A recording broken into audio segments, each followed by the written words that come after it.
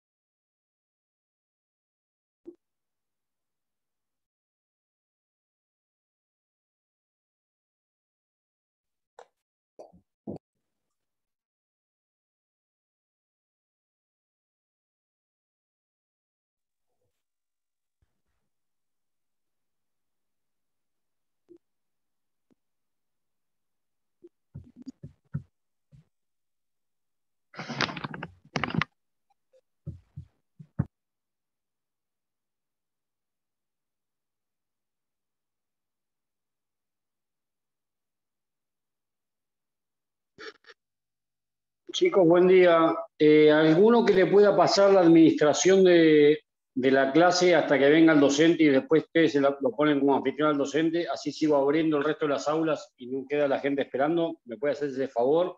Eh, ya, esto- ya, ya estamos, eh, Catriel, ya estamos. ¿Quién Juan Escujuri. Pásamelo a mí. Ah, ahí te paso, Juanjo, porque no te veía, entre tanta gente no te veía. No, decirle que le pase para que yo pueda. Ahí te pongo, Alfonsina. Dale. Dale, ahí te lo pasé, Pero- millón de gracias. Un beso, buen día. No, no, no, porque se da solo.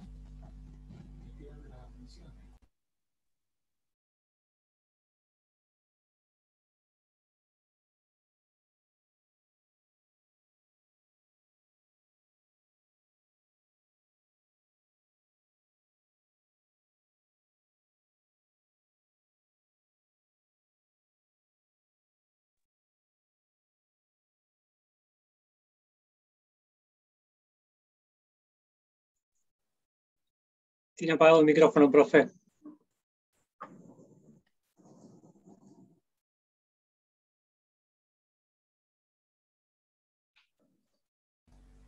Alfonsina Bueno, tiene. buenos días. Eh, la, la- espero que, bueno, estén todos bien, considerando la situación de nuestra ciudad. Y a propósito de eso, eh, eh, esto que, ha ocurrido hoy, hay varios barrios que no tienen luz, etcétera. eh, me sirve para eh, comentarles alguna cuestión. Eh, si bien nosotros no hemos empezado todavía con un formulario por los presentes, porque hay gente que aún está planteando lo de la superposición con teoría general del derecho, etcétera, y estamos armando el listado. Y sabemos, bueno, ahí alguien pone que efectivamente hay, sabemos que hay barrios enteros que están sin luz, por lo tanto no hay eh, wifi ni nada. Eh, de hecho, nosotros estamos teniendo la posibilidad de comunicarnos con ustedes porque tenemos ingreso directo, pero wifi tampoco tenemos en casa. Así que eh, cuando todo esto para decirles lo siguiente, cuando nosotros, eh, o mejor dicho, cuando la ciudad viva una situación así, eh, nunca vamos a plantear el presente, ¿bien? O sea, la idea es que cuando hay estas situaciones eh, climáticas, entiendo eh, y entendemos perfectamente, tanto para los miércoles como para los lunes, que esos días nosotros no vamos a, tomar la cuestión de registro de asistencia. ¿está? Así que por ese lado, este, quédense tranquilos. Nosotros sabemos que, eh, nosotros, por ejemplo, vamos a tener otra plenaria a las 18.30, pero la idea es que cuando ocurran estas cosas, porque suele ocurrir en la ciudad, eh, bien, nunca va a haber registro de asistencia. ¿eh? Así que hoy no la hay porque ya no la hay, digamos, porque la vamos a hacer más adelante. Pero si en algún momento nos pasa lo mismo, no va a haber registro de asistencia. Bien, me parece que es lo que, lo que obviamente corresponde porque estamos en situación totalmente desigual, bien, frente a, a estos puntos. Bien, vamos a arrancar eh, con esta clase y vamos a decir varias cuestiones. La primera es que como siempre vamos a dejar los últimos minutos, que van a ser como 15 o 20 minutos, eh, para eh, preguntas. Así que el chat ahora los dejamos, ¿bien? Para que cuando tengamos las preguntas recuerden ir anotando. Yo también tengo acá mis, este, mis posibilidades de tomar este apunte para cuando ustedes después este, realicen las preguntas. Luego, em, la cuestión de los micrófonos cerrados, tal como está planteado en el aula. Bien, acá hay un protocolo que se dio en el aula y se indicó que en la medida de las posibilidades queríamos que tuvieran la cámara prendida, también señalamos que sabemos que hay gente que no lo puede hacer y de hecho nos ha llegado eh, alguna eh, comunicación al respecto y por lo tanto eh, entendemos eso. Lo que sí pedimos es los micrófonos cerrados, por favor, porque somos en estos momentos 196 y si tenemos los micrófonos abiertos se nos acoplan, ¿bien? Y, nos hacen, encima que ya de por sí estamos con, con líos eh, mm, de, la electricidad, se nos acoplan los micrófonos. Así que... ¿puedo grabar la clase? Eh, la clase está grabando, no la graba cada uno, la clase la graba la facultad, ¿bien? Y lo graba la Secretaría Académica, quien es la que ha realizado el... Eh, este Zoom, ¿bien? O sea, este es un Zoom que plantea la propia facultad y por lo tanto le pertenece a la FAC. ¿Bien? Bueno, entonces, no se preocupen porque la van a grabar y después hablamos con el SED a ver dónde lo suben. Eh, la, idea, eh, no, ya dijimos lo del presente, chicos, el chat no, no lo pongan más, está, no se hagan problemas. Bien, vamos cuando se hagan las preguntas. Vamos a, antes de empezar con trabajar algunos de los temas que nos interesan ver hoy, es hacer, como vamos a hacer en general en las, este, em, en, las plenarias, algunas como recuperaciones, por favor los micrófonos cerrados, algunas recuperaciones de eh, encuentros o este, cuestiones generales, porque ya que estamos y tenemos esta alternativa, la usamos, ¿bien? Bien. A ver, ustedes hasta ahora en el aula virtual tienen contenidos subidos para las unidades 1, 2 y 3. En relación a la 1, la, eh, ha habido algunas este, estudiantes que ya empezaron a leer y que plantearon alguna dificultad en relación a la lectura de Alejandro Cataruza y a la cuestión de historia y memoria. Juan.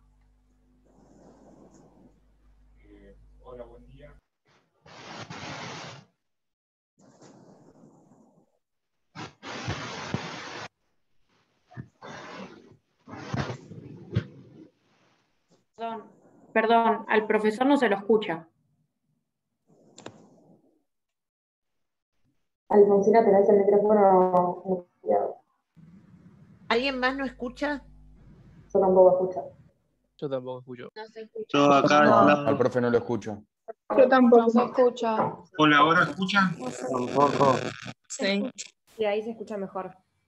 Bueno, eh, bueno, solamente para decir que vamos a hacer una clase grabada sobre los textos de Cataruza y de Spinelli. Es decir, eh, siempre tengan en cuenta que nosotros lo que planteamos eh, en estas clases o microclases grabadas, estamos dando las líneas centrales del texto, al cual ustedes después tienen que ir y leer, no alcanza solamente con, con mirar el, y escuchar el video.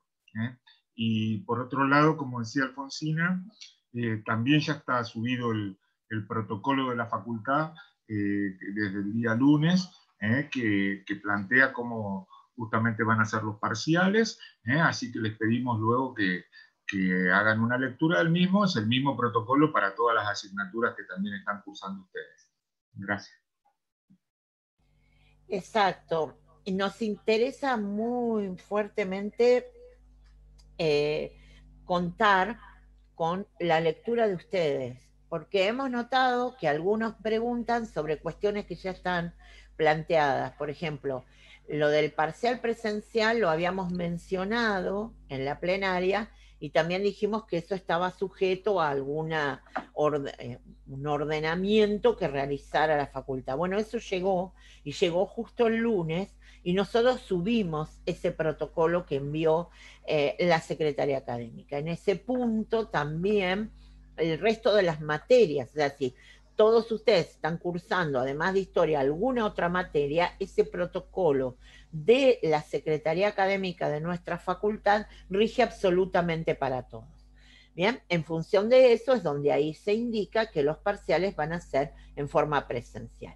Lean el protocolo y si hay alguna duda, em, la, nos la formulan por correo interno del, em, del aula virtual. Bien, el correo interno del aula virtual es ya dijimos lo del chat, chicos, las preguntas cuando terminemos. Bien. Todavía no empezamos con la unidad 3. Ahí hizo ruido con esto, perdón. Eh, la, eh, la cuestión de las lecturas, eh, revisen también, hay un protocolo o un ordenamiento que hicimos en relación a las referencias del aula virtual. Si dice lectura obligatoria, es como su nombre lo indica, es una lectura obligatoria que nosotros podemos tomar en el parcial porque hemos hecho la indicación al respecto. Ahora, si dice LC, es lectura complementaria. Y en función de la lectura complementaria, significa que le sirve como apoyo, pero que no necesariamente nosotros lo vamos a tomar en el parcial.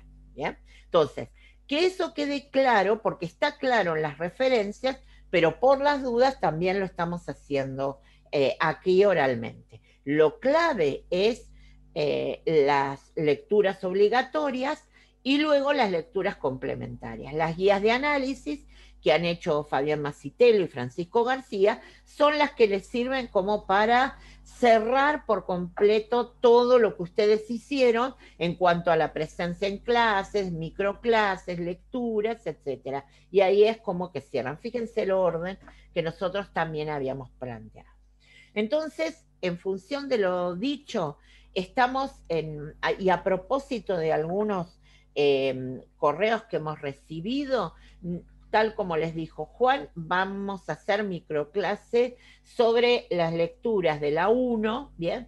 Que si bien estaban eh, mencionadas en, o en la plenaria o, en la clase general, a pedido de ustedes de que requieren como una orientación mayor, Juan va a grabar esas microclases y las vamos a subir en estos días. Así, en relación a eso, quédense tranquilos porque por lo pronto van a tener una guía. Recuerden esto, las clases, las microclases, son esta misma plenaria, son orientativas, ¿bien? Orientativas y orientadoras. ¿Qué queremos decir con esto? Que no, eh, em, no reemplazan las lecturas. Alguien en un correo me preguntó si eh, tenía que leer las lecturas. Obviamente que las deben leer, y por eso hago la salvedad de las obligatorias y las complementarias. ¿bien? Eh, y las lecturas dan cuenta de los contenidos. No se puede aprobar una materia si no hay lectura. Y nosotros tenemos varias lecturas. Las clases grabadas o, o las que se dan en forma sincrónica son la forma de que si estuviéramos allá en la facultad, ¿bien? Que también tendrían que leer, o sea, no es que no deberían leer, hay una selección de lecturas y demás. Entonces, lo único que acá están en el aula virtual y tienen como algunas posibilidades, digamos, este, en relación a eh, las clases grabadas. Em, a ver, yo tengo la posibilidad de compartir ahora, sí. Bien. A ver si podemos ver. Ah, bien. Bueno, eh, ustedes el lunes en las distintas comisiones estuvieron trabajando la unidad número 2, ¿bien? Que es ya una unidad situada, digamos, en un eh, espacio o en varios, en este caso, espacios territoriales. O sea, han estado trabajando la historia del derecho, especialmente en dos ámbitos territoriales. Ustedes vieron en el mundo oriental y ahí situaron un documento fundamental que era el Código de Hammurabi, ¿bien? Y también trabajaron otra cuestión que tenía que ver con el derecho hebreo, basado en un documento eh, que también es central, que en este caso es un documento eh, religioso, es un libro sagrado, que es la Biblia. El otro espacio que ustedes vieron fue el espacio griego. Y en el espacio griego vieron eh, una característica muy particular que tuvieron los griegos, que es de la conformación política que fue a través de las ciudades-estado, las llamadas polis.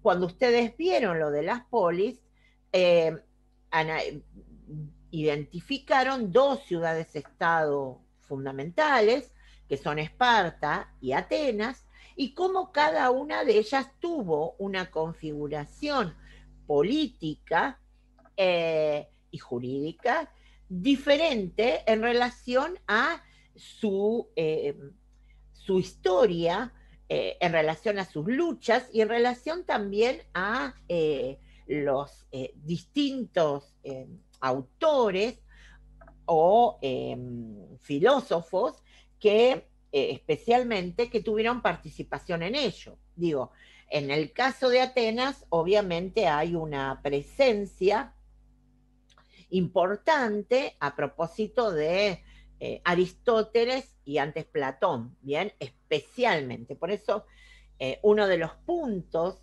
de, que están mencionados en, la, eh, en, los contenidos de la unidad alude especialmente a la relación con la filosofía, y ustedes tienen una lectura eh, que justamente trabaja desde cuáles son los aportes que la filosofía ha dado a, la filosofía griega ha dado a poder saber lo que tiene que ver con la, con la vida em, jurídica institucional en general.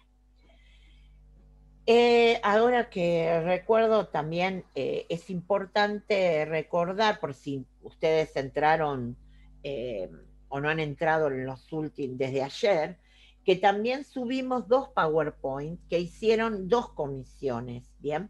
Y están subidas en la unidad número 2. Entonces, los que obviamente estuvieron en esas comisiones vieron uno de los PowerPoint, los otros trabajaron los mismos contenidos con sus profes. Para que haya alguna sistematización compartida también, es que subimos los, los PowerPoint de las comisiones que eh, así lo hicieron, ¿bien? Y da la casualidad que incluso se complementan. Así que estaría eh, bueno que los miraran y pudieran a partir de ahí recuperar como una suerte de resumen y de identificación clave las em, ideas más importantes de esas unidades. A propósito, em, ya que estamos, les quiero decir, los PowerPoint tienen el fin de identificación de cuestiones absolutamente claves. Digo esto para que no piensen que copio el PowerPoint y ya tengo la idea, porque indudablemente ahí no están por ejemplo, las lecturas obligatorias totalmente desarrolladas. Sí hay identificación de ideas que tienen vinculación directa con las lecturas, pero no hay un desarrollo general. Como ahora que vamos a empezar a dar las características generales de la unidad 3, en donde la idea es que vean que si bien en el programa hay una sistematización que responde a un criterio didáctico eh, y de orientación, la idea en realidad tiene que ver con que está todo eh, eh, vinculado, relacionado, y que no, no podríamos separarlos, pero si no tendría que ser una unidad en donde no plantearíamos una este, identificación particular.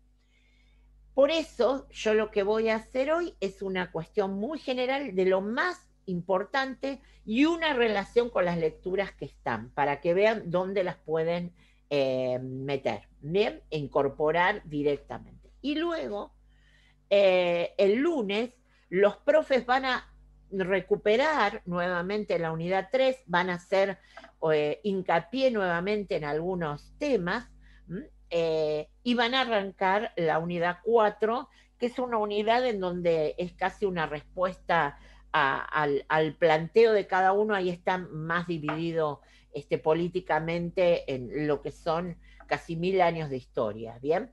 Pero lo que nosotros vemos es la configuración jurídica que se va dando en todo el medioevo. Vamos a, no sé si, ahí está, bien. Bueno, lo primero que debemos considerar es eh, la evolución histórica política que tiene Roma. Y acá me detengo antes de, identificar fechas, y más que nada las fechas este, son lo, que menos nos importa.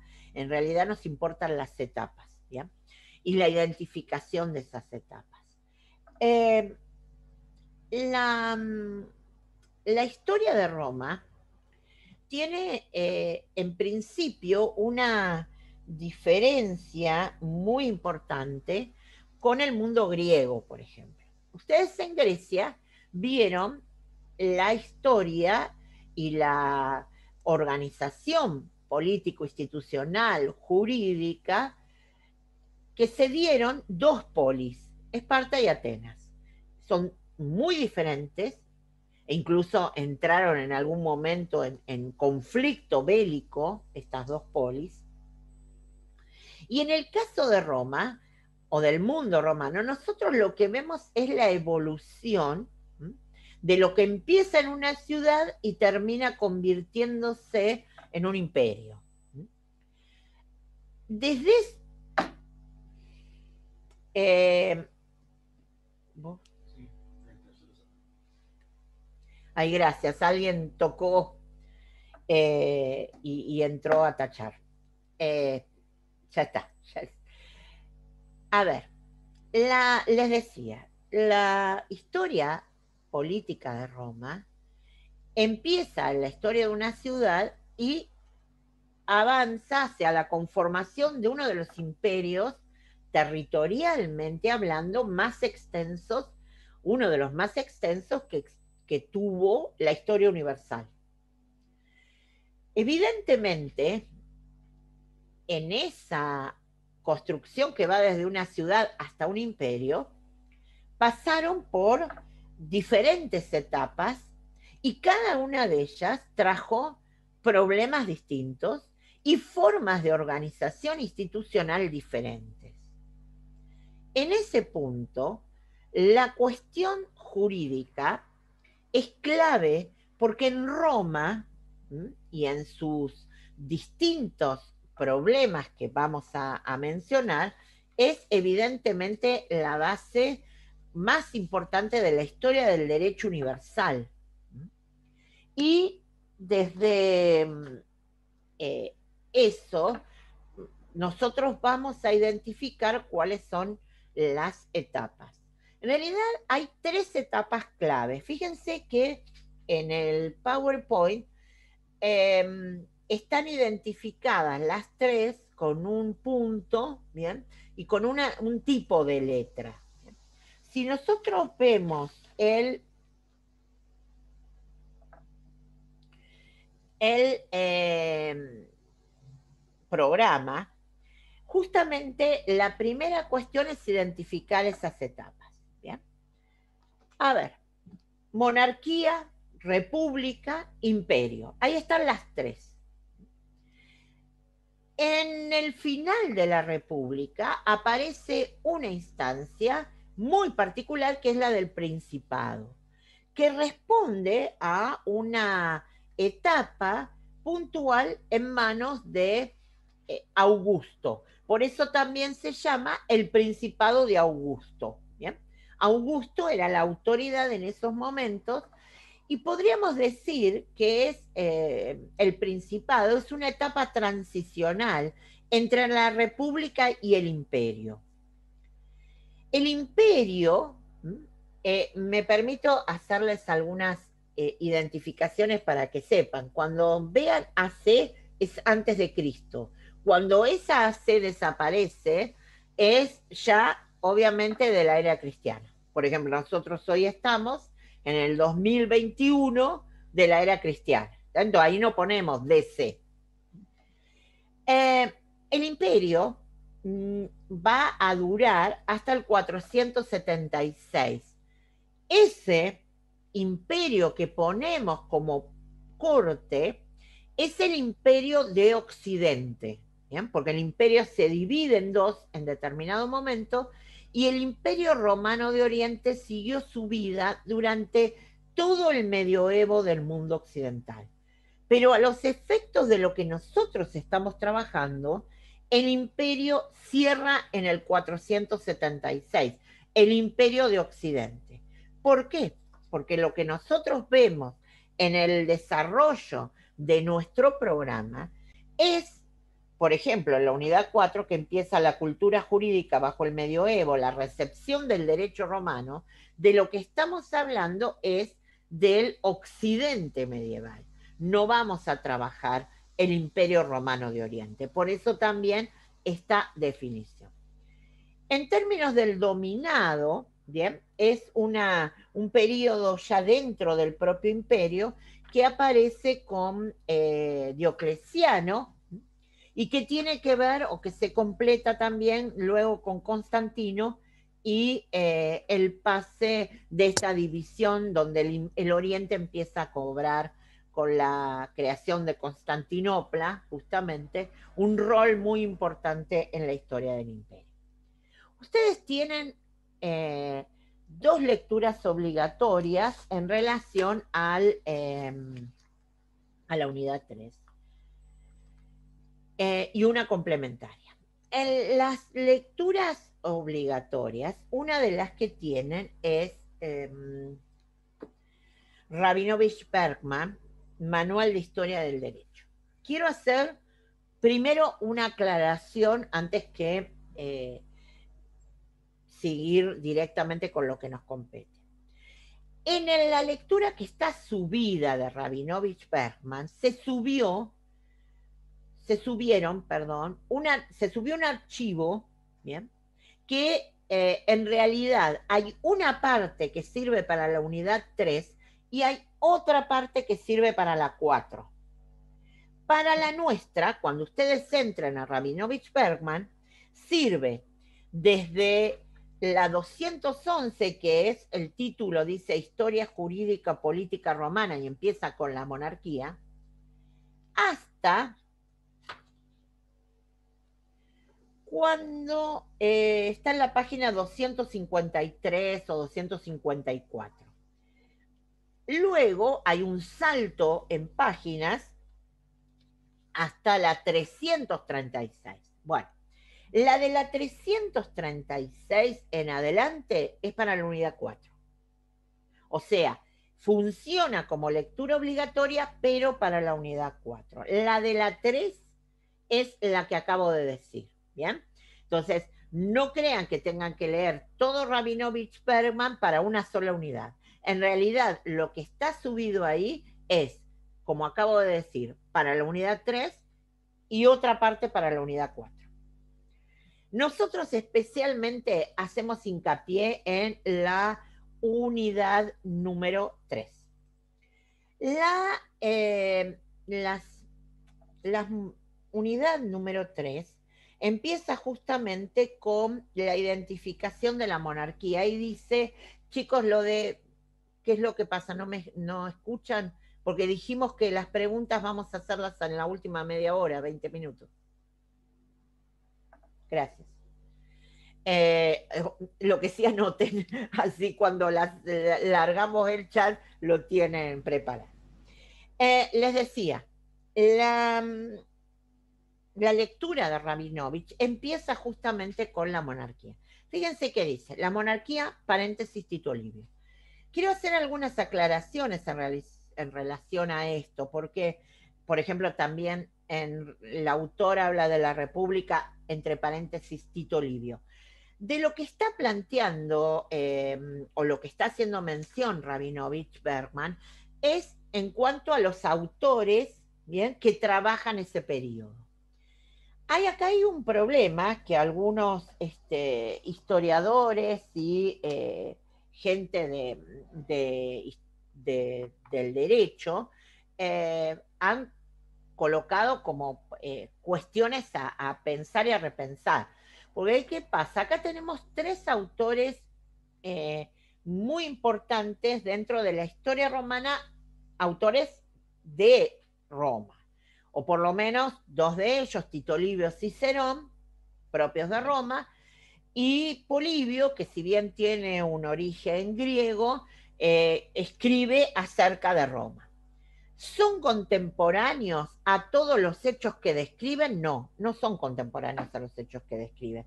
Ellos toman la tradición oral y la escriben. Entonces, por eso a veces hay inconsistencias entre estos autores.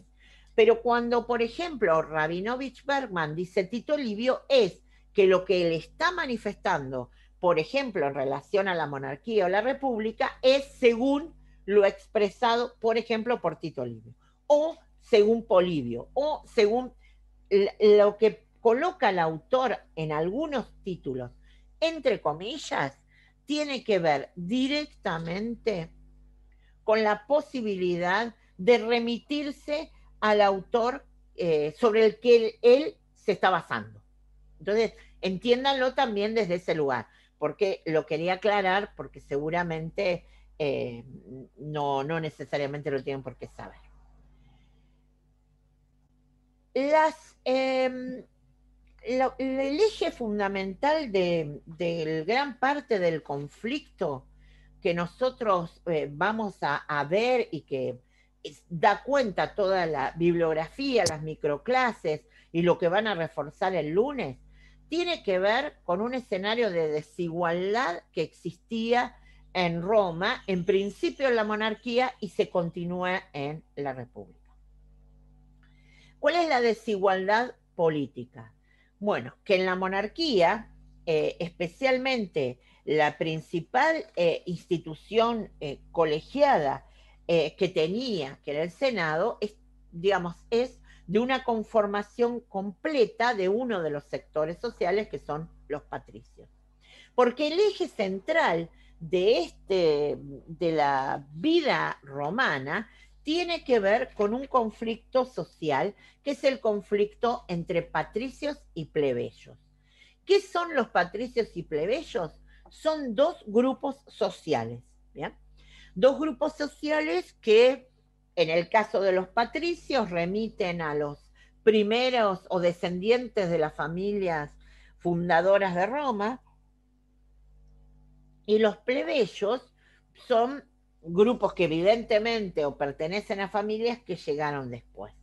Quiero hacer una aclaración que también Rabinovich y el otro texto que ustedes tienen de obligatorio que es el de Medina, alude. Y es muy importante esto, porque tiene que ver con casi como una situación de, preconcepto que a veces eh, le sale, por ejemplo, en un parcial. Entonces ponen, los plebeyos eran los pobres, los patricios eran los ricos. No, acá tenemos un error grave. ¿Por qué? Porque al interior de los plebeyos no es una cuestión de que todos eran pobres, primero. Segundo, al interior de, esos plebeyos hay algunos que eran francamente muy ricos, que se hicieron ricos especialmente al fin de la monarquía y comienzo de la república, a través de actividades comerciales, por ejemplo. Entonces, y hay otros que efectivamente son pobres y muy pobres. Entonces, la cuestión eh, fundamental es no trabajen con esta antinomia ricos-pobres, porque no es así. Lo que estamos hablando es de las desigualdades existentes en dos grupos de hombres libres, porque acá tenemos otra cuestión que tienen que tener en claro. Los patricios son libres, los plebeyos son libres, y en el mundo romano, como en general en el mundo antiguo, hay otro grupo que son los esclavos, que son gente que no tiene eh, ni siquiera la consideración de, de, ser tomado como persona. Un esclavo es alguien que le pertenece a alguien. Y en función de eso, eh, la vinculación que pueden tener es muy variada. Eh, ustedes ya vieron la cuestión de los esclavos, por ejemplo, en el Código de Hammurabi, y cómo era este, hasta la relación que se planteaba, por ejemplo, si moría un esclavo o si alguien mataba a un esclavo de otra persona. Bueno, el esclavo en el mundo antiguo, y recuerden esto porque vamos a hacer una breve mención en un ratito, el esclavo no es una persona como obviamente lo era en la consideración. Hay algunos que los trataban mejor y otros no. Pero en principio es un objeto sujeto a poder comprarse, a poder venderse, a poder regalarse. Entonces, cuando hablamos de desigualdades, estoy hablando de las desigualdades entre los hombres libres, patricios y plebeyos. Corramos la cuestión económica de la cual vamos a hablar, pero entiendan que no todos los plebeyos son pobres, justamente no. Desigualdad política primero, el hecho de que durante la monarquía la eh, absoluta eh, institucionalidad política está en manos de los patricios, o sea, todas las instituciones de la monarquía están en manos de los patricios. Ustedes tienen las lecturas, así que yo lo que hago es poner las cuestiones claves y ya dije dónde están. ¿Qué pasa con la desigualdad jurídico-religiosa? Bueno, acá tenemos un problema eh, serio, específicamente por em, el hecho de que eh, la posibilidad de algunos eh, cargos o em, acciones en términos religiosos también lo podían tomar solamente los, em, los patricios. Y jurídicamente hay algo que es absolutamente clave y lo tienen que tener muy, muy en cuenta, que tiene que ver con leyes, con la normativa, digamos, con la transmisión de las mismas. Es oral y es administrada por los patricios. Entonces, esta cuestión de que sea oral administrada por los patricios da pie a una absoluta desigualdad porque la tradición oral, que es muy valiosa en la conformación del derecho siempre, pero también alude a una posibilidad total de arbitrariedad. Y ahí está donde se plantea la desigualdad jurídico-religiosa. La otra desigualdad en términos generales es la económica. Y aludo a cuestiones que están mencionadas tanto por Rabinovich Berman como por eh, Medina. ¿Qué es el uso del ager publicus? Bueno, el ager publicus es em, el territorio propiedad del Estado, que para ser cedido a, a, la explotación económica lo daba el Estado. ¿Qué hacían los patricios, especialmente en la monarquía? Les correspondía solo a ellos, lo administraban solo ellos, lo daban para que se los trabaje y de pronto las tierras que se daban a algunos plebeyos no tenían, por ejemplo, condiciones de fertilidad del suelo. En muchos casos llegaba a la ruina del pequeño este, propietario, no propietario, sino poseedor, digamos, de la tierra, que terminaba endeudado Y ese problema de las deudas sobre el ager públicos podía llegar a terminar hasta con la libertad de esa persona. O sea, el hecho de tener tal cantidad de deudas podía llegar a terminar convirtiéndolo en, eh, en un esclavo en el último de los niveles. Por lo tanto, acá teníamos una desigualdad que empezaba progresivamente a detonar.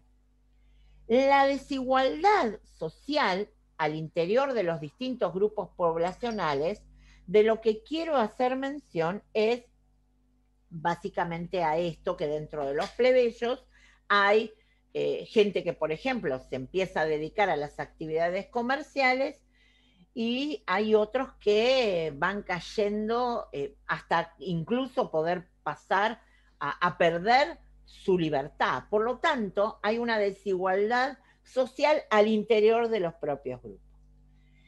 Cuando se habla de las etapas del conflicto en términos cronológicos, fíjense que digo o escribo acá que las tradiciones remiten a distintos autores, ¿no? Esto me baso, ustedes tienen una lectura complementaria también, que es la de Roldán Herbaz. Roldán Herbaz es un historiador del derecho romano, un historiador de Roma en general y eh, se ha especializado en la parte también de la historia del derecho. Y en el caso, y acá me, interesa hacer una mención, la lectura de Medina, que habla justamente sobre estos conflictos y los desarrolla, se basa fuertemente en Fernández de Buján.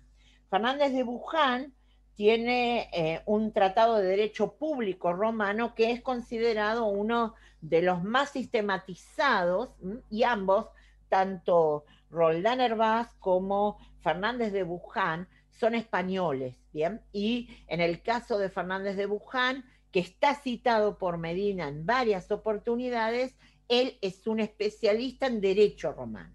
Y en el caso de Roldán Herbaz, es un especialista en historia del derecho romano. Digo porque también es bueno eh, que, sepan, digamos, de dónde vienen estos autores y cuál es su tradición eh, para que los utilicemos.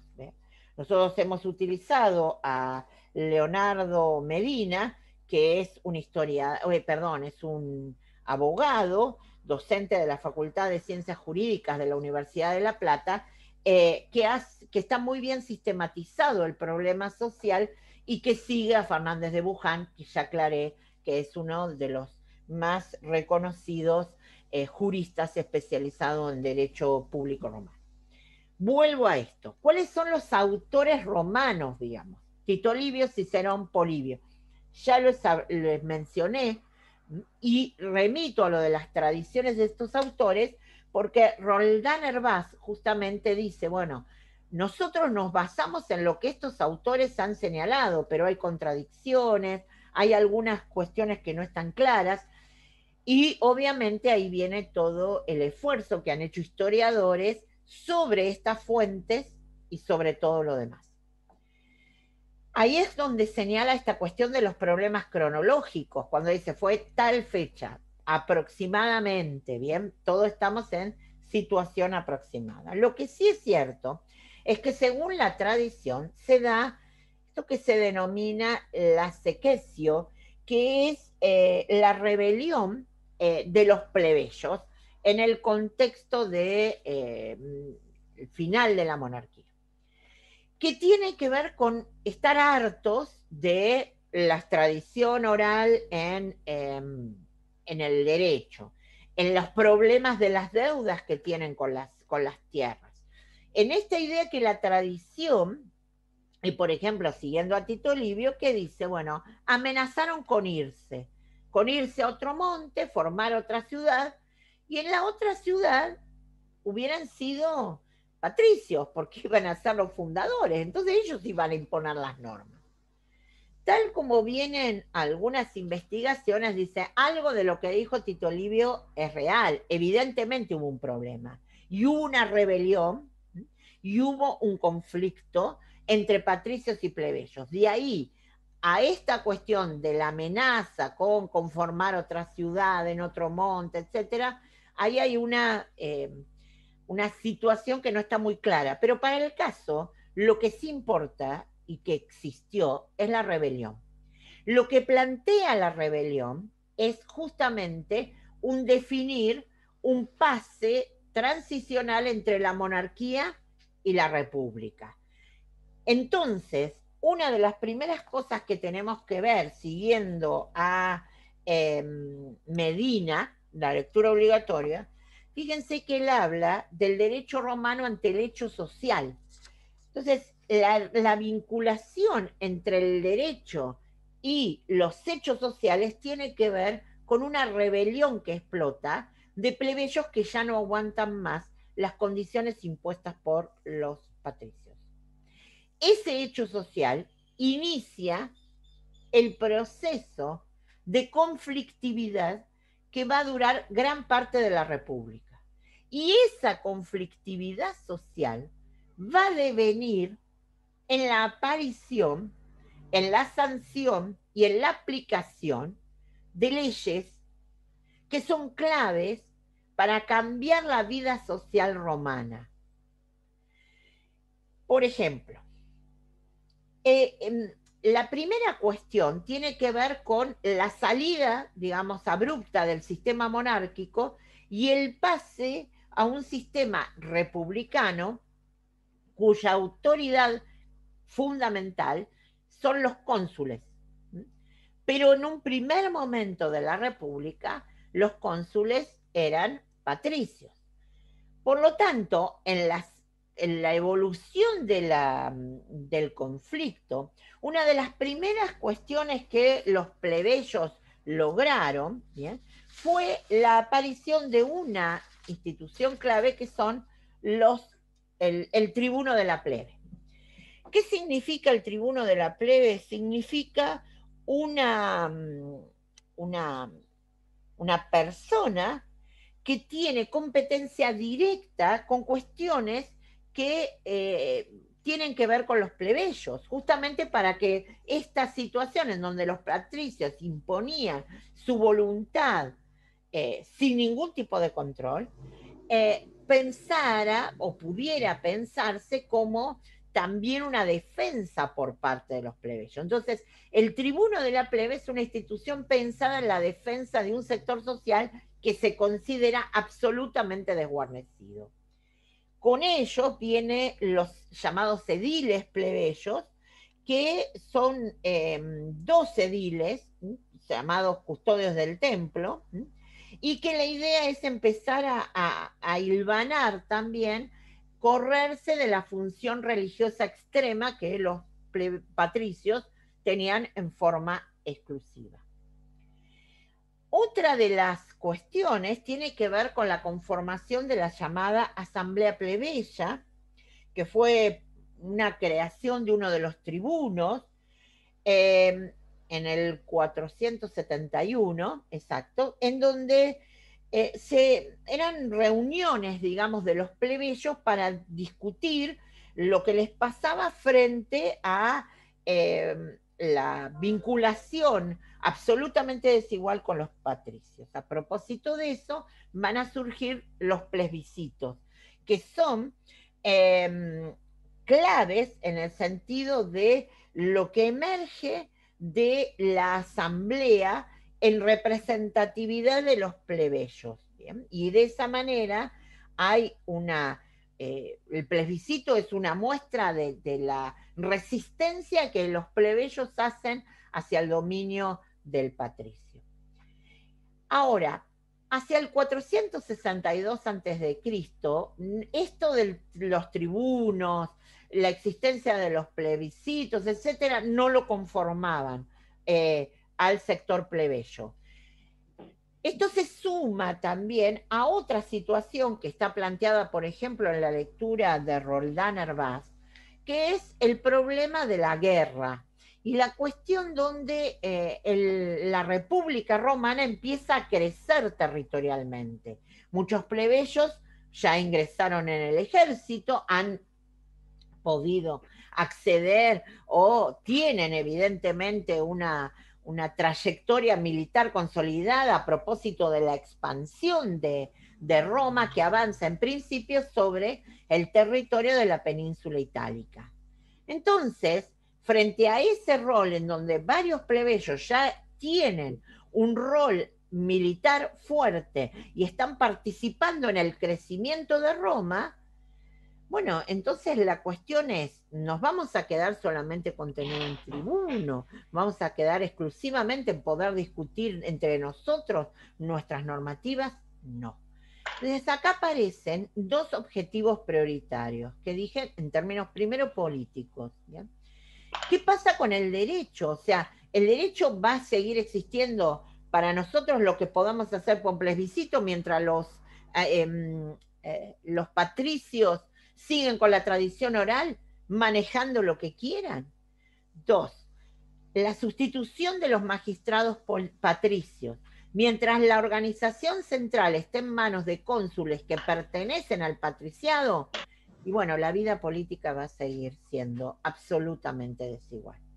Indirectamente, fíjense que lo, coloqué, porque bueno, eh, Roldán Herbaz hace alguna mención, hay dos objetivos indirectos, que es ampliar el reparto de tierras, que tiene que ver con que está creciendo territorialmente Roma, está avanzando en el territorio. ¿Y a quién le quedan esas tierras? ¿Por qué los plebeyos no pueden tener una posibilidad de eh, tener un reparto de tierras más equitativo? Claramente, si están participando en el accionar militar, suponen que también deben tener la posibilidad de acceso a la tierra, cuestión que por ahora les estaba vedada. Y la otra es, como puse ahí, la anulación de las deudas. Las deudas seguían siendo la condición de pase a otra situación que obviamente era aún este, más eh, conflictiva. Ustedes a lo largo de las lecturas y las clases tanto de Fabián Macitelo como de Francisco García, recorren todo este periodo durante la República en donde se van dando sucesivamente en distintos momentos las fechas que las van a encontrar en las lecturas es para que se den cuenta de cómo va avanzando el proceso, ¿bien? Hacia el proceso de igualdad, digamos, porque en definitiva, nosotros empezamos en la desigualdad. Y a lo que vamos a llegar es a un proceso de, em, de búsqueda de la igualdad y de fin de esta división tan tajante entre estos dos grupos. Ahí tienen las, em, lo más importante. En principio, lo más importante de todo, indudablemente, son las 12 tablas que en realidad los de los decemviros son los que primero empiezan a hacer la recopilación, son 10, 10 em, personajes, todos patricios, que son los primeros que empiezan a tratar de circunscribir en 12, en 10, perdón, leyes, eh, las más importantes que estaban en vigencia. Luego eso queda este, dejado de lado provisoriamente hasta que en el 445 toman esas 10 y les agregan dos más, ¿bien? Y terminan siendo las, las 12 tablas. Ustedes en la... Mm, eh, en el aula virtual tienen como documento las 12 tablas. Es una eh, publicación que hizo la Universidad Nacional de La Plata, donde eh, la Facultad de Ciencias Jurídicas y Sociales hizo esto. Entonces, em, ¿Tienen que leer las 12 tablas? No. Lo que sí, para cuando hablemos, si a alguno le interesa ver de, digamos, los profes lo explican en las microclases, por eso no voy a abundar en eso tampoco, la idea de las 12 tablas es clave porque empieza el derecho escrito. Entonces acá es un paso fundamental en el fin de la desigualdad. Si yo digo una cosa y no queda escrita en ningún lado, hoy puedo decir, no sé, se robaron esto y está penado por tanto. Ahora, mañana puedo decir, se robaron esto y está penado por otra cosa o por otra y así sucesivamente. El que esté colocado en forma escrita define paso distinto y clave en el derecho, que es, a partir de ahí, la norma está escrita. ¿Puedo interpretarla? Sí, puedo interpretarla. ¿Puedo pensar en función del caso? Sí, totalmente. De hecho, ustedes van a ser alguna vez abogados y no es que van a repetir todas las leyes y las van a colocar, sino que frente a un caso van a trabajar Sobre lo que está escrito y lo que se puede hacer en relación a ello. Bueno, en el mundo occidental, la primera vez que aparece esta cuestión del derecho escrito son con las 12 tablas en Roma. Nosotros hemos visto otro ejemplo de escrito y de identificación de la norma, que es el Código de Hammurabi, pero eso era en el mundo oriental, ¿bien? En el mundo occidental, la primera vez son las, las 12 tablas. Eh, para no extenderme demasiado, porque esta es la, la, introducción general y para que sepan qué buscan en las lecturas, y así doy paso a las preguntas, ahí tienen una identificación de las leyes que están en las lecturas, ¿bien? No es que son distintas. Perdón.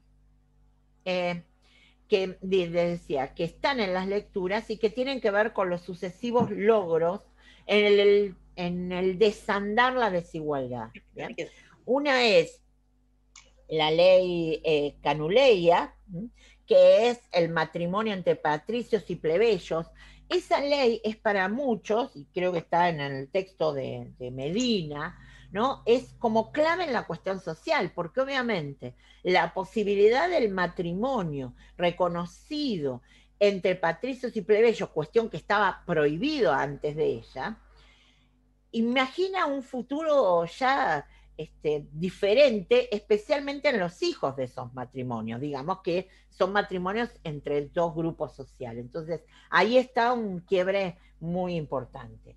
La ley Licinia Setiae es restricciones sobre el ager publicus, esto es, sobre la tierra pública de, del Estado. Esto tiene mucho que ver con lo que decíamos del avance de Roma en los territorios primero de Italia y luego más allá, después de las guerras púnicas, pero la cuestión tiene que ver con el hecho de eh, reestructurar la propiedad de la tierra a la luz del avance. Pero especialmente esta ley, más que sobre la cuestión de la tierra, es algo absolutamente importante. Esa ley señala que, disculpen, acabamos de decirlo de los micrófonos, chicos, se ve que alguno lo tiene abierto, gracias por cerrarlo. Eh,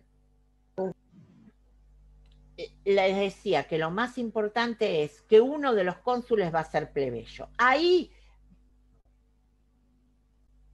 la desigualdad política planteada en la República se empieza a correr, porque gracias a la licinia STI eh, hay una posibilidad real de que uno es patricio y el otro es plebeyo.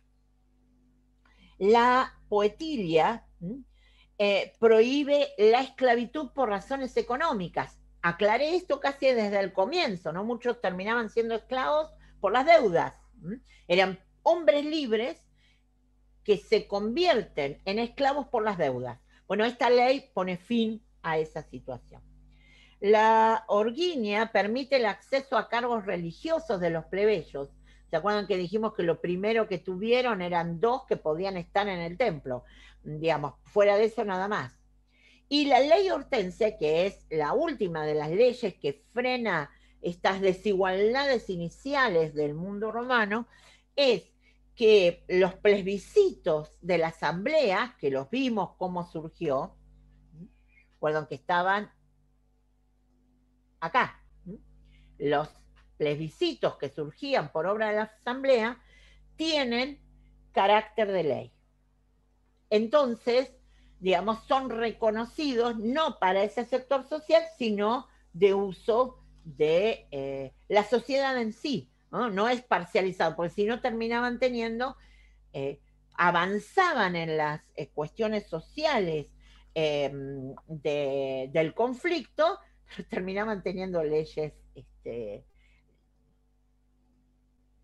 terminaban teniendo leyes parciales para cada grupo. Bien, entonces, indudablemente esto trae otro tipo de problemas. A ver, lo que hicimos es hilvanar lo que ustedes van a leer o ya han empezado a trabajar en las distintas lecturas y que tienen las clases de Francisco García y de Fabián Macitelo que dan un recorrido muy importante, hay una primera parte una segunda parte, sobre todo el derecho romano.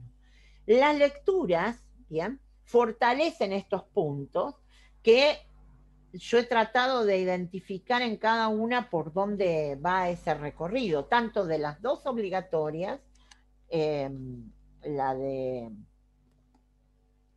Rabinovich Berman, como la de Medina. Y en el caso de la otra, la del Roldán Herbaz, es una complementaria, pero por ahí hay algunas de las cuestiones que yo he mencionado hoy que remiten también a esa lectura porque eh, fortalece eh, algunos contenidos. Bien, bueno, eh, abrimos el chat de ahora en más, lo que quieran preguntar. Nos preguntan por el chat. Em, Por chat, no por micro. por chat. Ok.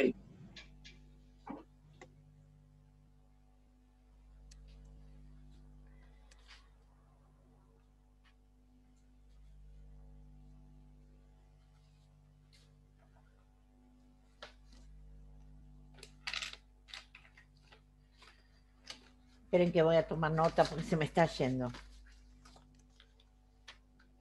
Bien, hay algunas preguntas sobre las leyes. En realidad aluden a que los plebeyos pueden acceder a cuestiones que ya los patricios tenían. O sea, eh, el avance sobre- es hacia la- las cuestiones que ya los patricios tenían. Entonces los colocan en un pie de igualdad. Alguno preguntó la ley Hortensia. Lo que señalábamos es que los plebiscitos surgidos de las asambleas tenían un valor legal. Fabián, está Fabián Macitelo también con nosotros, así que si querés participar, Fabián, gracias, porque ahora te puedo ver. ¿Me ves ahí? No, quería Sí, dale. eh, agregar, está bien. eh, justamente eh, con la, la, etapa de la, de la República, que es la etapa más rica del- de lo que es el derecho romano, por su cantidad de fuentes, que, este, leyes, constituciones, costumbres, y comienza los plebiscitos, de ahí viene la, la palabra plebiscito, ya empieza a tener fuerza de ley, este, no solamente entre los plebeyos, sino eh, ante los patricios, vos bien lo explicaste, pero en, la, en el ámbito de las obligaciones, eh, el deudor se obligaba, este, valga la redundancia, con su persona, de ahí viene el nexo, que era lo que este, era muy severo el derecho romano respecto a eh, los contratos. Eh, ese deudor podía ser llevado a juicio, este, se le daba un plazo, eso lo explica la ley de las 12 tablas, que es la semana que viene, pero bueno, tiene que ver un poquito con el primer derecho escrito de la antigua Roma y antes de Cristo. Está muy bien, este, mu- muy claro, porque ese deudor era llevado a juicio, si seguía con su deuda y no cumplía, se le daba un plazo de 30 días, bueno, este, para que cumpliera. Inclusive el acreedor podía tomarlo prisionero, esclavizarlo, hasta matarlo, repartir su cuerpo. Era muy severo. Lo que les explica este, la, la, la profe Alfonsina es justamente, con las leyes posteriores comenzaron a suavizar ese, ese trato. Entonces, la palabra nexum es la obligación que tenía el deudor para con el acreedor. Y eran muy severas las leyes. ¿eh? Era más que nada de derecho público. Eso se hacía algo público, ¿por qué? Porque todo ese proceso se hacía ante este, la, toda la ciudadanía. Eso por un lado. Eh, yo me voy a andar la ley de las 12 tablas también. Eh, lo que lograron los plebeyos con la ley de las 12 tablas es participar de una sucesión. Las sucesiones, este, había dos tipos de sucesiones. La habeas testato, cuando no había testamento, este, y las sucesiones hereditarias. Eh, digamos, dentro de lo que es el derecho de los patricios, ellos tenían la capacidad de heredar, y no así los plebeyos. Los plebeyos comienzan a tener vocación hereditaria a partir de la ley de las este, 12 tablas. ¿m? Hay una infinidad. También este, la profesora Alfonsina habló de eh, justamente la- el poder que tenía ese pater familia frente a toda este, la, la familia, y no solamente a la familia, sino también frente a los esclavos. Hay algo que es muy importante y muy severo en el derecho romano, una institución, que era el derecho a la vida y la muerte sobre sus súbditos, se podría decir.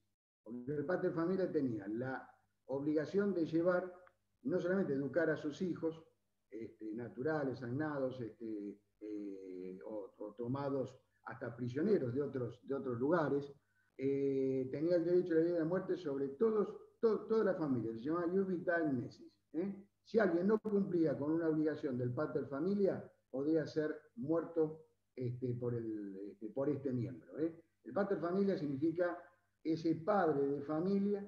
Que tenía la patria potestad sobre todos sus hijos y aún sobre las mujeres también, ¿eh? sobre su esposa y las mujeres de los esclavos y sus hijas. Esto es muy importante. Eso se fue suavizando sobre todo después con el cristianismo, para que tengan este, una idea. El Dios vital es el derecho a la vida y la muerte este, que tenía el pater familia sobre todos sus súbditos, sobre los esclavos, hasta podía vender un hijo.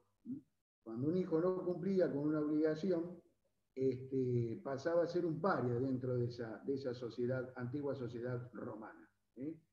Esto se fue suavizando con, con el transcurso del tiempo, ya con entrando al estoicismo, el cristianismo, que ya es otro tema, pero sí está relacionado con las leyes que recién les explicó Alfon. ¿eh? Eh, creo que esas son las tres o cuatro cuestiones importantes para no marearlo en cuanto a, los institutos.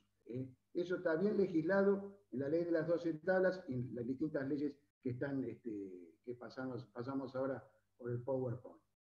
No sé, Alfon, si querés agregar alguna, algún detalle. No, más. muchas gracias Fabián. En realidad todas las explicaciones ya están en la grabación que hizo Fabián también en su momento y también las que hizo Francisco, o sea que ustedes tienen todo eso para verlo hasta cuando quieran y puedan. La otra cuestión es que tiene que ver que eh, están en las lecturas. Lo que hemos hecho es una recontra sistematización. Había eh, lo de las leyes, nuevamente después lo, subo al PowerPoint si tienen, pero después de la segunda plenaria. Eh, igual están, seguimos las, em, la cuestión de, de después del plenario, vamos a ver si lo subimos, pero están, digamos, todas las leyes que he mencionado son las que están en la lectura. Había una, porque se me pasaron la- las preguntas, pero que me interesó, que no tenían que ver ya si con la cuestión, por varios preguntaron sobre los plebiscitos, bueno, esto también está explicado, creo que Fabián en tu clase vos lo, lo explicás, este, que tienen que ver con, con las acciones que en, en su momento hacía la Asamblea, específicamente, y que después hay un cambio. Pero alguien preguntó, eh, ¿qué pasa con las consignas de Rabinovich Bergman? ¿no? Y ahora voy a Fabián si querés aclarar lo de los plebiscitos. Em, Lo de Rabinovich Bergman sobre las consignas que hay como preguntas son el, el texto de este dos, profesor, que es profesor de Derecho en la Universidad de Buenos Aires. eh, este profesor lo que ha hecho es pensado un manual en donde hay preguntas como para que ustedes puedan seguir. De ninguna manera son para responder, ni mucho menos. En realidad sirven eh, como para que algunas cuestiones se fijen, pero nada más. Esos son los efectos didácticos de una sistematización que puntualmente Rabinovich Berman ha hecho para su obra. Nada más. Fabián, ¿querías hablar algo de los plebiscitos? No, los plebiscitos, los tribunos de la plebe comenzaron después de que los plebeyos comenzaron, bueno, valga la redundancia, a tener una participación en la vida política del Estado. Eh, vos bien dijiste, Salfon, que no solamente habían adquirido un poder económico, que eso los ayudó también a tener decisiones dentro del Estado este, romano. Digo Estado, no había formado un Estado, sí hablamos de un imperio romano porque en la época de la República, eh, Roma conquista muchos territorios, por eso se habla del imperio romano, ¿eh? del mayor esplendor de la riqueza jurídica, territorial, este, bélica, se podría decir, este, y su organización jurídica. Dentro de la organización jurídica, el plebiscito, esta especie de consulta popular, y nosotros hablamos de hoy de consulta popular, era para ese sector de la sociedad postergada, ¿eh? que no tenía ni voz ni voto. Entonces, como bien se explicó Alfon, para frenar los atropellos de los patricios ¿eh? y para ya obtener importantes decisiones este, en las decisiones, valga en las decisiones de esa sociedad romana, estos este, plebeyos comenzaron a organizarse y a reunirse en estos tribunos de la plebe, donde votaban ¿eh? cuestiones eh, eh, sociales, cuestiones este, que tengan que ver en defensa de su, de su sociedad dentro de otra sociedad, de sus derechos, por ejemplo, y de su participación dentro de los cargos públicos que hasta ahora les eran negados en los, este, en los distintos estamentos del Imperio Romano.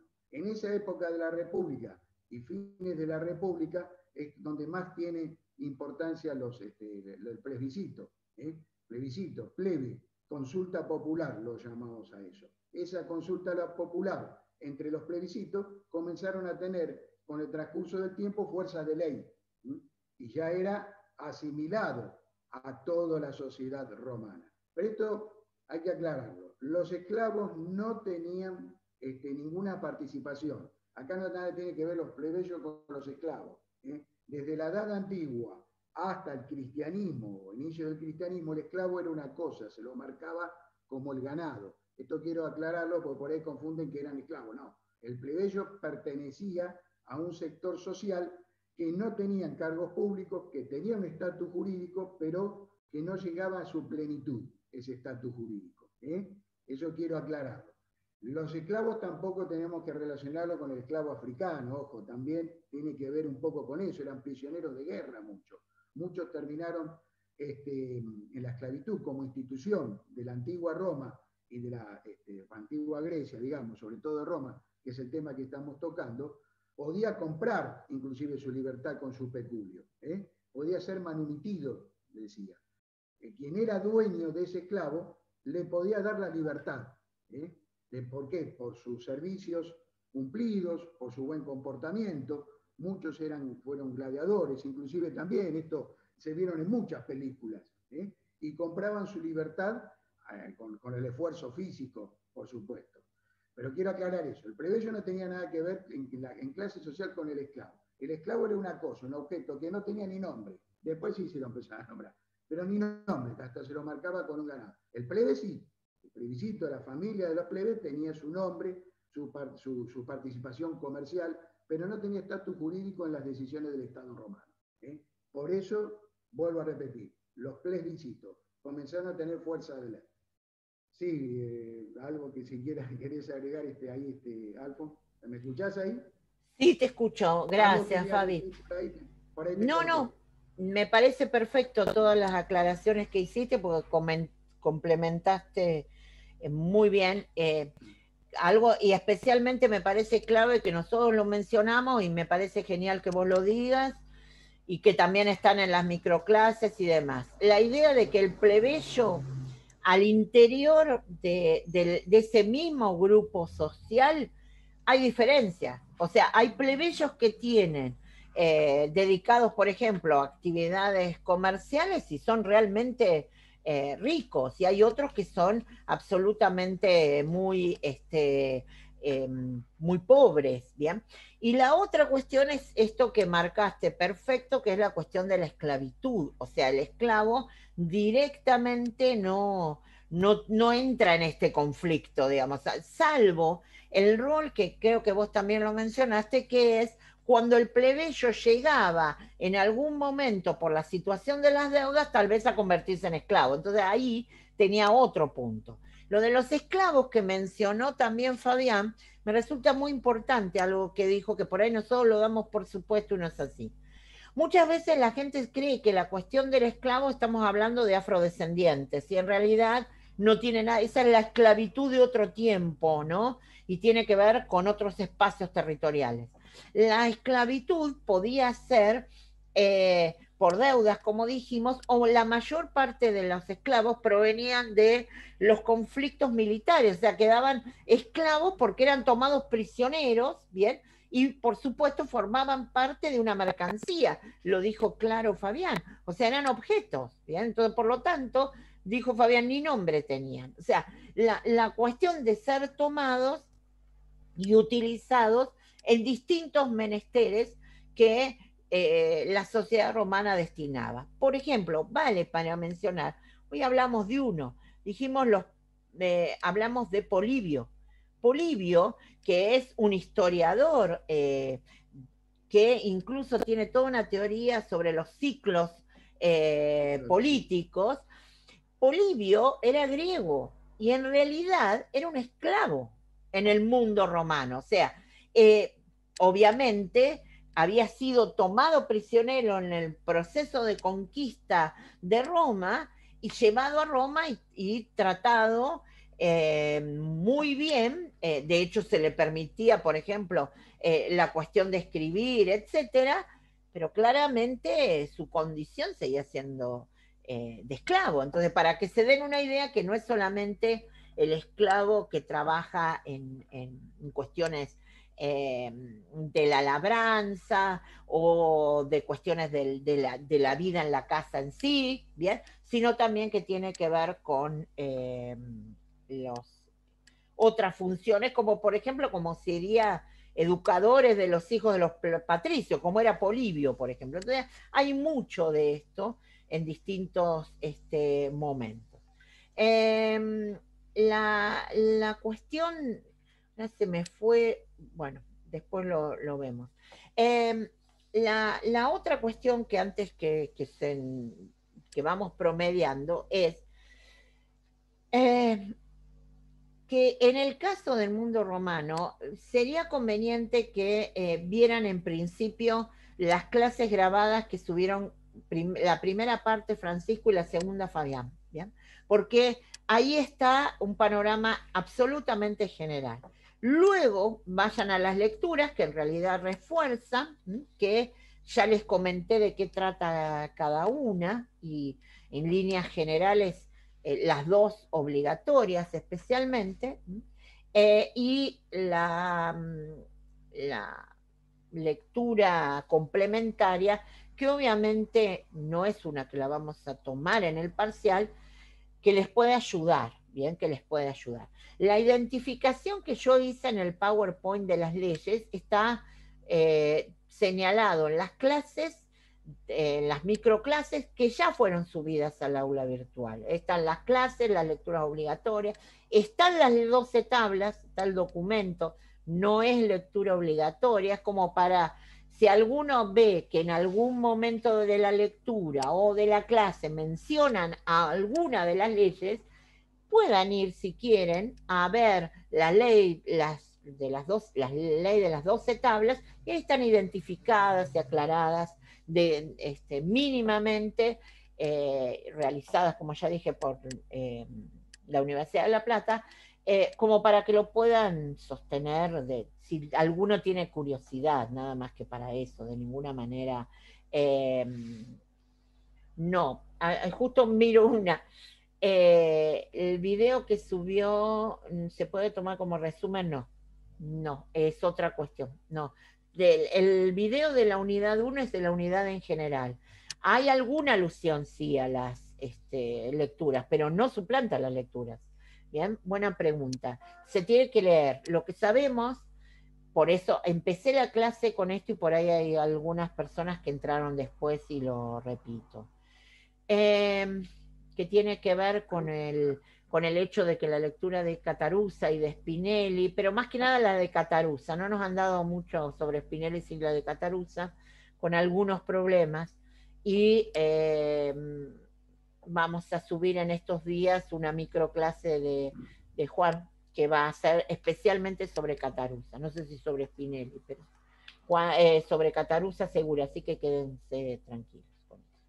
Alfon, ahí hay una serie de preguntas, para que Ah, ¿querés eh, responderlas? Sí. Claro, no, más para ir para los alumnos entre los dos, como quieras vos. Dale. quiero pasar por. ¿eh?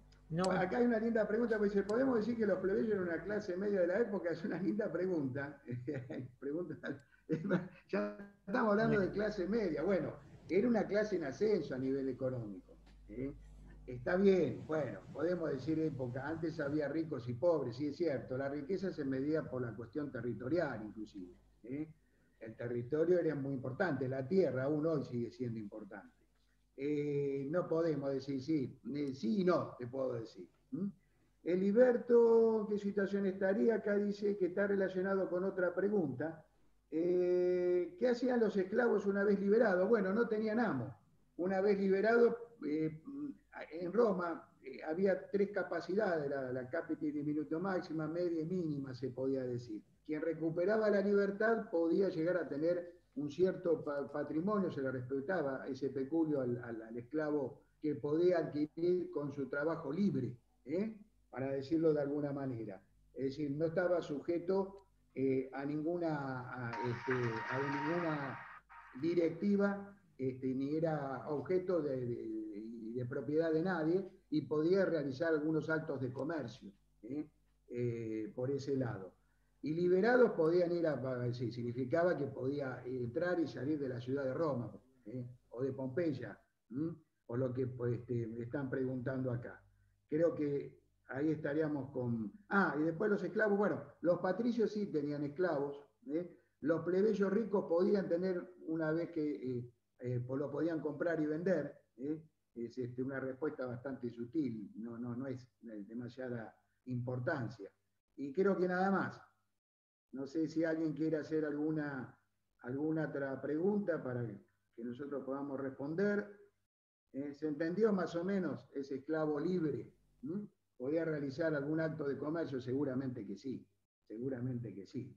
Este, no había ningún problema, no estaba sujeto a la propiedad de nadie. Bueno, no sé si quieres agregar algo, Alfon. No, está bien. hay varias cuestiones que, digamos, las resoluciones están en las propias lecturas, así que seguramente lo que les ha disparado, lo que hemos eh, dado en clase entre Fabián y lo que mencioné yo, disparó algunas cuestiones que están en las lecturas y que esperamos que justamente las resuelvan. Hay una pregunta que no tiene nada que ver con la unidad, pero que me permito responderla porque me parece eh, muy, muy importante aclarar. Hay varios, eh, hay uno que preguntó acá, pero en otro lado ya lo habían preguntado, con respecto a la situación de los parciales en la presencialidad en relación directa a los que no viven en la ciudad. Bueno, en relación a eso, eh, la primera cuestión es que esto tiene que tener un registro porque seguramente si no pueden venir a dar el parcial de historia y están cursando otra materia, tampoco van a poder ir a dar el parcial de otra. Por lo tanto, em, eh, remítanse a la Secretaría Académica y a la Secretaría de Bienestar de la facultad. Envíen mails ahí explicando la situación para que exista un registro puntual de las personas que viven eh, fuera de, Mar del Plata y que por alguna razón en ese día no van a poder venir. Otra cuestión, eh, para esas personas, por las causas que están mencionadas en el protocolo, eh, nosotros vamos a dar una instancia oral. En un horario determinado vamos a tomarles oral. Eh, obviamente no podemos tomar escrito en las mismas condiciones que la persona que fue a dar el escrito eh, en forma presencial, digo. Eh, y el escrito virtual solo va a ser en la medida que no exista la presencialidad. Entonces, el escrito es presencial. Si se vuelve a la virtualidad porque X razón no se puede tomar la presencialidad, habrá una característica del parcial virtual por ahora, de acuerdo a lo dispuesto por la facultad, el parcial es escrito presencial. Lean el protocolo, fíjense si entran en alguna de esas situaciones, algunos entran hoy por lo que están planteando y otros pueden ser que sea una cuestión de salud en vísperas del parcial en la cual hoy no pueden definir. Pero en cualquier caso, está pensado y contemplado cualquier situación la cual se va a resolver por medio de un parcial oral. Así que no es que se quedan sin la instancia de evaluación, de ninguna manera. Bueno, chicos, eh, nosotros nos volvemos a ver a dar la misma unidad a las seis y media, porque ahora viene otro Zoom de otras, está afectado a otra cátedra, ¿bien? Entonces ya nos pasamos die- diez minutos, pero bueno, no importa. Eh, nos vemos, eh, los que venimos en este horario, eh, nosotros y obviamente ustedes, nos vemos en 15 días, porque el miércoles que viene es feriado nacional está planteado en el cronograma, obviamente, y en respeto, obviamente, a todos los feriados em, y, a su, y a lo que representan. En otro orden, nos vemos a las seis y media, en donde volvemos a dar más o menos lo mismo, que como siempre hay otras intervenciones. Y muchas gracias, Fabián, que fuiste un gran soporte que además lo No, pueden ver en la clase. Gracias a vos por dejarme participar. Gracias, No, muchas gracias. Bueno, chicos, nos vemos este horario dentro de 15 días. Cuídense mucho. Chao, profe. Chao, profe. Chao, nos vemos. Chao. Chao. Chao, chao.